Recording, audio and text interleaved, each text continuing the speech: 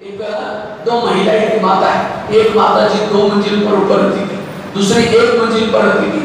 दो मंजिल वाली रोज अपने घर के खिड़की से पड़ोसी के छत पर देखती तो छत पर कपड़े सुखाते हैं, उसके कपड़े लेकर के पति को बुलाते हैं कि जिसको कोई अक्कल नहीं, कितने गंदे कपड़े हैं, कितने मैले हैं, पति को कहते जाओ, पूछ क्या क्या साबर लगाते हैं, क्या? पति कुछ नहीं बोलता। रोज बुला करके कहते पूछ लो। एक दिन जब उसने उसी खिड़की से देखा, कपड़े अच्छे दिखने लगे।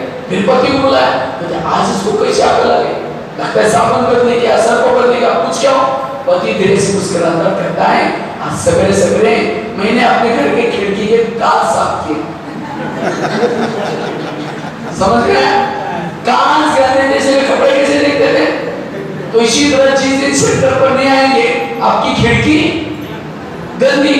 अब जब खिड़की गंदी है तो सारा दिन कोई हाथ से का लगता मेरे को देखो ज़रूर कोई किसी बातें में करता लगता है मेरी बात ज़रूर करें। सारा दिन निगेटिव सोच। इसीलिए रोज अपने खिड़की को साफ़ करो और खिड़की साफ़ का टीवी देखने से होगी